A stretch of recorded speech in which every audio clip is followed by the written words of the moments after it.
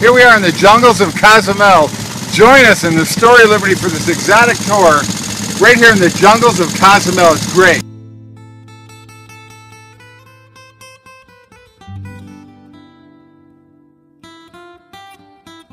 It's 1519, uh, actually the uh, day of the cross, uh, that the first Catholic Mass was held here in Cozumel, right down uh, the road here.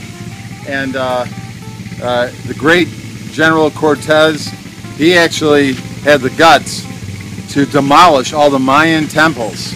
It took a lot of courage. He did that, and he brought Christianity into this island. He brought Catholicism into this island uh, and he actually did what was scriptural. He tore down the false altars and built a church in the very spot where the false altar was. We're on our way over to the uh, natural spring on the island that the Mayans held very sacred. The water. The only difference in between now and before, now we got what we call it a bareback osmosis system where we can purify by the water. Back in the 1600s, the Mayans, they had no way to purify the water. So that's why it's easy to know and recognize a Mayan people or Mayan descendants. Why? Because they're short, big head, no neck, big belly, short legs. Because this water contains eight times more calcium, a lot of minerals, and a lot of sulfur. So instead of making the most grow for them, and make them real thick. So that's why Mayan people or Mayan descendants are short people. All of the sinkholes got three different levels of water. Salt water at the bottom, brackish in the middle, and very fresh water on the top.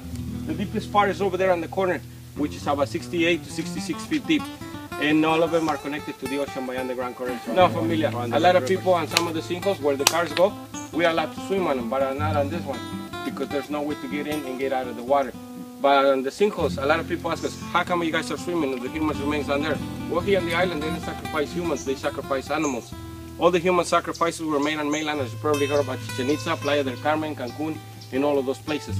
Cozumel is known as a fertility island. Many people from Guatemala, Belize, Honduras, El Salvador used to travel on canoes up to 11 people in a canoe to make an offer to the goddess of the moon, love, and fertility, which is Ixchel. Once they got here around February, they had to wait six months for them to go back to the original places. Why? No boats with moran and no planes. So in six months, that's when the current changed ways. They use the sea current to go back to the original. Not good when your four-wheeler breaks down in the jungle. Hey man, what do you think of this place? Awesome, man. Cozumel, huh? Inside. That's why I ask you to keep your helmets on. Watch your cabeza, okay? Watch your cabeza and your step, okay, familia? Here we go.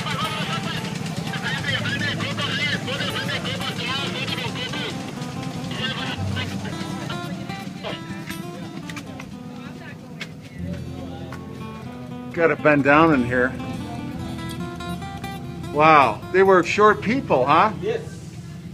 Very short. Look at this. That's the ceiling. Yeah, there's some sunlight there. There's some sunlight up there.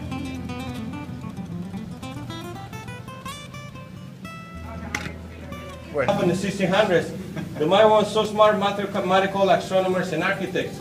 They were the first one to invent the first weather predictor, which is a house made out of rocks. It has four doors and four and uh, a window on top of each door. And on the very top of the cupola or dome, there's uh, 12 cone shelves infiltrated into the cardinal points, which is north, north, east, south, and west. How does this work? The wind goes in through the doors, out through the window, and into the top of the cupola or dome. It starts making a twist with the wind, and it starts blowing all the 12 cone shelves at once. So from that point on, the Mayans got 10 to 12 hours to find a place like this. How come they didn't drown? Because when they started getting a little bit of water on the floor, they used to use the, those big old shop vacs to suck up the water. Yeah. they started when they started getting a little bit of water on the floor, they used to pull holes on the ground all over the ground with wood stick and rocks. It makes the water down faster to the second underground cave or a sinkhole.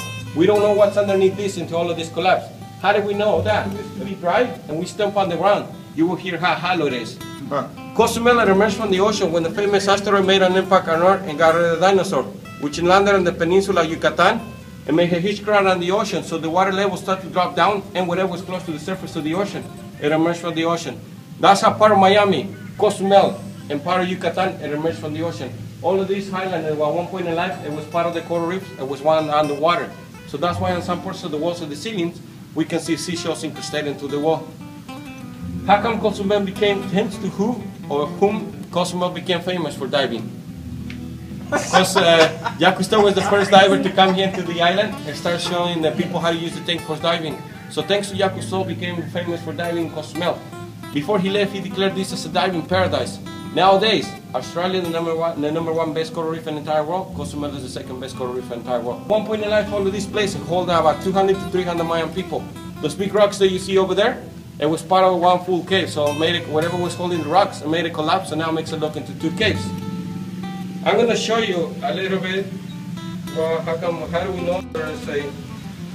All of this was underwater at one point. We have over there what we call Nemo, Mexican Nemo. You guys can get over here.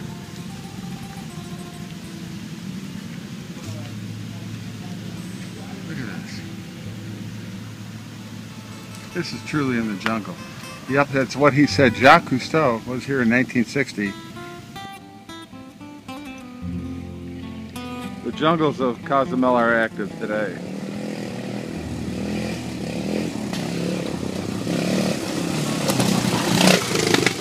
And it was in 1527 that Don Francesco gave this island its Christian name, Cozumel, 1527.